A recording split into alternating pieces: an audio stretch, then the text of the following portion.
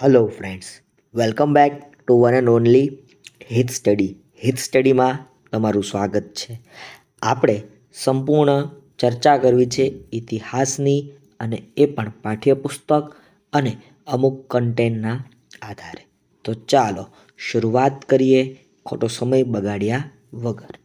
રાષ્ટ્રીય અભિલેખાગાર મિત્રો સવાલ પૂછાય ડાયરેક્ટ પૂછાય, રાષ્ટ્રીય અભિલેખાગાર ક્યાં આવેલું છે? તો દિલ્હી ખાતે આવેલું છે. ક્યાં આવેલું છે? દિલ્હી ખાતે રાષ્ટ્રીય અભિલેખાગાર આવેલું છે. પ્રથમ આવનાર પ્રજાનું નામ પૂછાય. ભારતમાં આવનાર પ્રથમ પ્રજા તો પોર્ટુગીઝ હતા. કોણ હતા ભાઈ? ભારતમાં આવનાર પ્રથમ પ્રજા કોઈ હોય તો એ હતા ભાઈ પોર્ટુગીઝ. ખાસ યાદ રાખજો ભાઈ. રાષ્ટ્રીય અભિલેખાગાર ક્યાં આવેલું છે? દિલ્હી ખાતે. પ્રથમ આવનાર પ્રજા તો પોર્ટુગીઝો હતા, એ પણ યાદ રાખજો.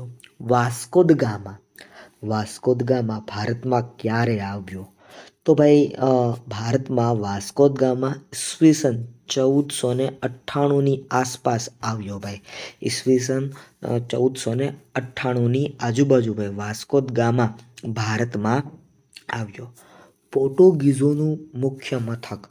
ભાઈ, પોર્ટુગીઝોનું કોઈ જો મુખ્ય મથક હોય ને તો એ હતું ગોવા. પોર્ટુગીઝોનું મુખ્ય મથક શું હતું ભાઈ? ગોવા. મિત્રો, આજે વાત કરીએ વાસ્કોદ ગામા તો એ વાસ્કોદ હટી, હકીકતે પોર્ટુગીઝ જ હતો. બરાબર? અને એટલા માટે અહીંયા પોર્ટુગીઝોની થોડીક વાતો આવે છે ભાઈ. પોર્ટુગીઝોનું જે ભારતનું મુખ્ય મથક હતું, તો એ કયું હતું ભાઈ? ગોવા હતું. પોર્ટુગલનું પાટનગર. ભાઈ, પોર્ટુગલનું એક પાટનગર છે, લિસ્બન. ત્યાંથી આ વાસ્કોદ ગામા નીકળી ગયો હતો ભાઈ. બરાબર? અને એ ક્યાં આવ્યો હતો તો તમને ખબર છે ભાઈ? બરાબર? તમે જાણો છો વાસ્કોદ ગામાને રસ્તો બતાવનાર વિશે પણ તમે જાણો છો. મિત્રો, આગળ વધીએ. ફ્રાન્સ. તો ફ્રાન્સનું એક મેઇન સિટી જેને કહેવામાં આવે છે. પૂછાય ડાયરેક્ટ કે ભાઈ, ફ્રાન્સનું મેઇન સિટી પેરિસ અથવા એની રાજધાની પણ કહી શકાય. બરાબર? અથવા એમ પૂછાય કે પેરિસ નીચેનામાંથી કયા દેશમાં આવ્યું છે? ટૂંકમાં તમને કોઈ પણ રીતે સવાલ પૂછાય, તમને જવાબ આવડતો હોવો જોઈએ. ભારતમાં બ્રિટનની ઈસ્ટ ઇન્ડિયા કંપનીનું શાસન. ભાઈ, ભારતમાં તમે જાણો છો કે ભાઈ ઈસ્ટ ઇન્ડિયા કંપનીનું શાસન હતું. ભારતમાં કઈ કંપનીનું શાસન હતું? તો તમે બધા જાણો છો કે ભારતમાં ઈસ્ટ ઇન્ડિયા કંપનીનું શાસન હતું. પણ ક્યાંથી ક્યાં સુધી? તો સત્તરસો ને સત્તાવનથી લઈને અઢારસો ને સત્તાવનના વિપ્લવ સુધી, માત્રના માત્ર આટલો સમય સુધી જ, આટલો સમય સુધી જ ભાઈ ભારતમાં બ્રિટિશની ઈસ્ટ ઇન્ડિયા કંપનીનું શું જોવા મળ્યું હતું ભાઈ? સ્વાતંત્ર્ય સંગ્રામ શરૂ થયો એ પહેલાં સુધીનું શાસન. મિત્રો, વાત કરવી છે વીર સાવરકર. ભાઈ, વીર સાવરકરે અઢારસો ને સત્તાવન અઢારસો ને સત્તાવન. અઢારસો ને સત્તાવનનો જે વિપ્લવ થયો, એને એક ઉપનામ આપ્યું હતું. વાલા મિત્રો, વીર સાવરકરે અઢારસો સત્તાવનના વિપ્લવને ભારતનો પ્રથમ સ્વાતંત્ર્ય સંગ્રામ આવું સંબોધન કર્યું હતું ભાઈ. બરાબર? યાદ રાખતા જજો ભાઈ, આવા ને આવા સવાલો તમારી આવનારી પરીક્ષામાં ક્યાંક ને ક્યાંક ડૂક્યું કરી શકે એવા હોય છે ભાઈ. આગળ વધીએ વાલા મિત્રો.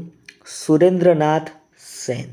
ભાઈ, સુરેન્દ્રનાથ સેને એક પુસ્તક લખ્યું હતું કે જે અઢારસો સત્તાવનના વિપ્લવને દર્શાવતો હોય. કોની વાત છે ભાઈ? સુરેન્દ્રનાથ સેનની વાત છે. એક ઇતિહાસકાર છે ભાઈ. એણે અઢારસો સત્તાવનના વિપ્લવને દર્શાવતી વાતો લખેલી છે ભાઈ.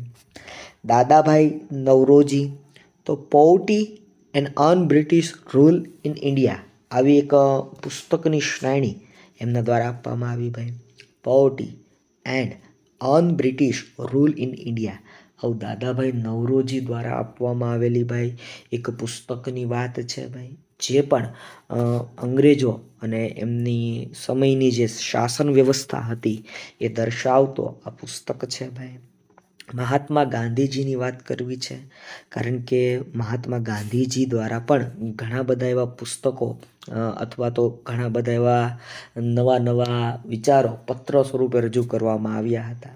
તો જોઈએ આપણે, મહાત્મા ગાંધીના પત્ર વ્યવહારો અને તેમના વિચારો અંગે લગભગ સો ગ્રંથોમાં નવજીવન પ્રકાશ અને ગાંધીજીનો અક્ષરદેહ, ગાંધીજીનો અક્ષર દે નામે એક પ્રકાશન કર્યું છે. જેમાં શું છે ભાઈ?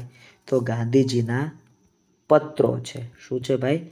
પત્રોને રજૂ કરેલા છે ભાઈ. ગાંધીજીની આત્મકથાનું નામ પૂછું વાલા મિત્રો, તો ગાંધીજીની આત્મકથાનું નામ છે ભાઈ સત્યના પ્રયોગો. ભાઈ, ગાંધીજીની આત્મકથાનું નામ તમને બધાને ખબર પડી ગઈ.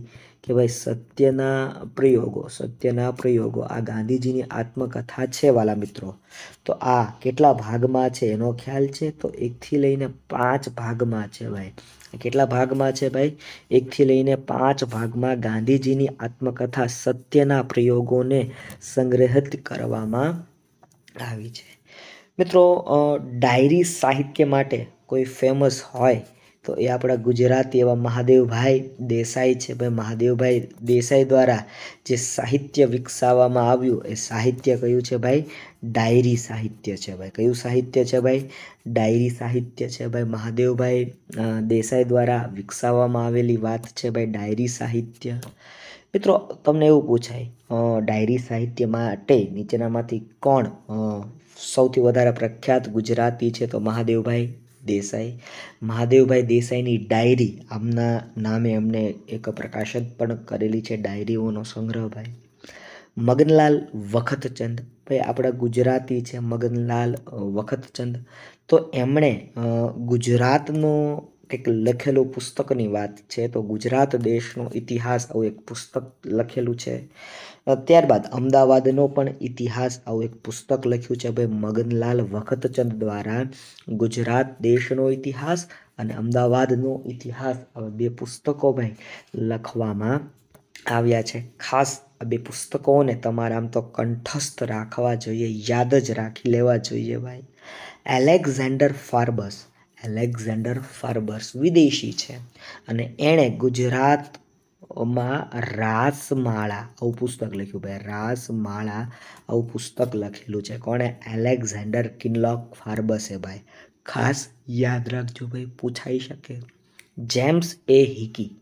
ભાઈ, જેમ્સ એ હિકીએ સૌપ્રથમ બંગાળ ગેઝેટ અથવા બંગાળ ગેઝેટ જેને તમે કહો છો, સત્તરસો ને એંશીમાં પત્રકારત્વની શરૂઆત કરી હતી અને એનું પહેલું પત્રકારત્વની શરૂઆતનું ભારતનું પહેલું પત્રક હોય, વર્તમાન પત્રક હોય, તો એ છે ભાઈ બંગાળ ગેઝેટ તો એમને જ સાથ પુરાવા રાજા રામમોહન રાયજી દ્વારા, રાજા રામમોહન રાય દ્વારા ભાઈ સંવાદ કુમુદી, કેવું ભાઈ? સંવાદ કુમુદી સંવાદ કુમુદી.